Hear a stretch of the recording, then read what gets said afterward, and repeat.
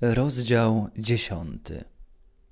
Planeta Małego Księcia krążyła w okolicy planetek 325, 326, 327, 328, 329, 330.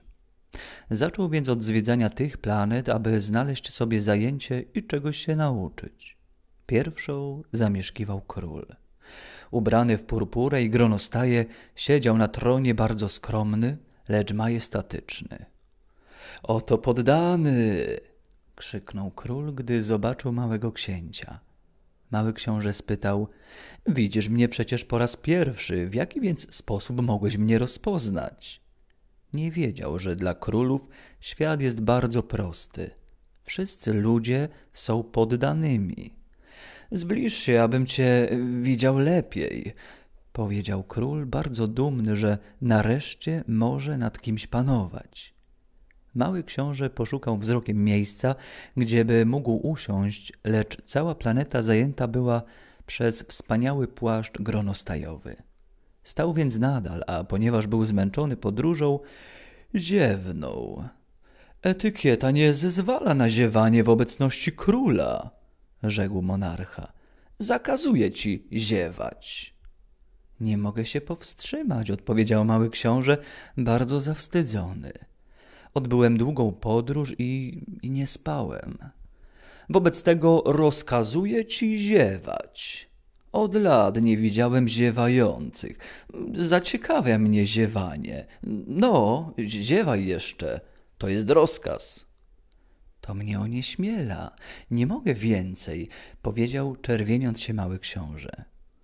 Hmm, odrzekł król. Wobec tego rozkazuje ci to, rozkazuje ci ziewać, to, to bełkotał. Chwilę i wydał się podrażniony. Królowi bardzo zależało, aby jego autorytet był szanowany. Nie znosił nieposłuszeństwa. Był to monarcha absolutny, ponieważ jednak był bardzo dobry, dawał rozkazy rozsądne. Jeśli rozkaże, zwykł mówić, jeśli rozkaże generałowi, aby zmienił się w morskiego ptaka, a generał nie wykona tego, to nie będzie wina generała, to będzie moja wina. Czy mogę usiąść? spytał skromnie mały książę. Rozkazuję ci siąść, powiedział król, podciągając majestatycznie jedną połę gronostajowego płaszcza. Mały książę był zdziwiony. Planeta była maleńka. Nad kim król mógł panować? Najjaśniejszy panie powiedział: Proszę mi wybaczyć moje pytania. Rozkazuję ci pytać, pospiesznie powiedział król. Najjaśniejszy panie, kim najjaśniejszy pan rządzi?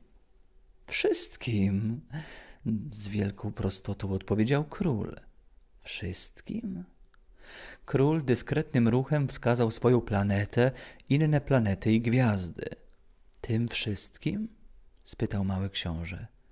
Tym wszystkim, odpowiedział król, ponieważ był to monarcha nie tylko absolutny, ale i uniwersalny. I gwiazdy najjaśniejszego pana słuchają? Oczywiście, odrzekł król.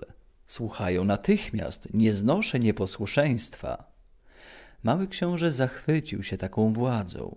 Gdyby on ją posiadał, mógłby widzieć jednego dnia nie czterdzieści trzy, ale siedemdziesiąt dwa, nawet sto, nawet dwieście zachodów słońca bez przesuwania krzesełka.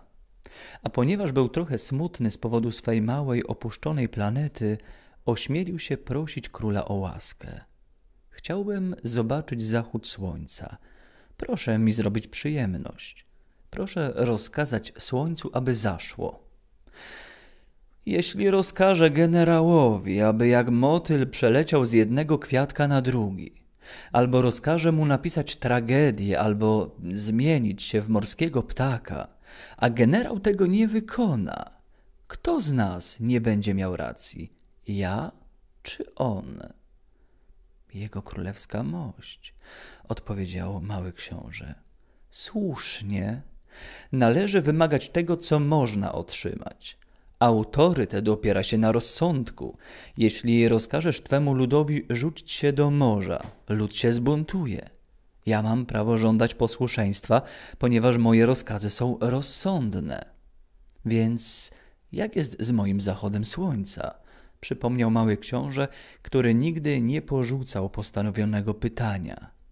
Będziesz miał twój zachód słońca, zarządzę go. Lecz zaczekam w mądrości rządzenia, aż warunki będą przychylne. Kiedy to będzie? informował się mały książę. Hmm, zamruczał król. Badając gruby kalendarz, hmm, hmm, to będzie, będzie około, około, to, to będzie dziś wieczorem o godzinie 19.40. I zobaczysz, jaki mam posłuch. Mały książę ziewnął. Żałował straconego zachodu słońca, a poza tym już się trochę nudził. Nie mam tu nic do roboty, odejdę. Nie odchodź, odpowiedział król, który był tak dumny z posiadania poddanego. Nie odchodź, mianuję cię ministrem. Ministrem? Czego? Hmm, sprawiedliwości. Ależ tu nie ma kogo sądzić. Nie wiadomo, rzekł król. Jeszcze nie zwiedzałem mego królestwa. Jestem bardzo stary, nie mam miejsca na karoce, a chodzenie mnie męczy. Och, ale ja już widziałem, powiedział mały książę, wychylając się, aby rzucić okiem na drugą stronę planety. Tam także nie ma nikogo. Wobec tego będziesz sam siebie sądzić. To najtrudniejsze. Znacznie trudniej jest sądzić siebie niż bliźniego. Jeśli potrafisz dobrze siebie osądzić, będziesz naprawdę mądry. Ja, powiedział mały książę, mogę się sądzić byle gdzie. Nie ma potrzeby, abym mieszkał tutaj. Hmm. Zdaje mi się, że gdzieś na mojej planecie jest stary szczur. Słyszę go nocą. Będziesz mógł od czasu do czasu sądzić tego starego szczura. Będziesz go mógł skazywać na śmierć, w ten sposób życie jego będzie zależne od Twojej sprawiedliwości. Lecz za każdym razem ułaskawisz go, aby go oszczędzić, bowiem jest tylko jeden. Nie lubię skazywać na śmierć, odpowiedział mały książę i już odchodzę. Nie, rzekł król. Mały książę, który skończył już przygotowania do podróży, nie chciał martwić starego monarchy. Jeżeli wasza królewska mość chce, aby rozkazy były wykonywane natychmiast, proszę mi dać rozsądny rozkaz. Niech na przykład wasza królewska mość rozkaże odejść stąd przed upływem jednej minuty. Zdaje mi się, że okoliczności są sprzyjające. Ponieważ król nie odpowiedział, mały książę po chwili wahania wyruszył w drogę, wzdychając ulgą. Mianuję cię moim ambasadorem! wykrzyknął jeszcze król. Był bardzo pewny siebie.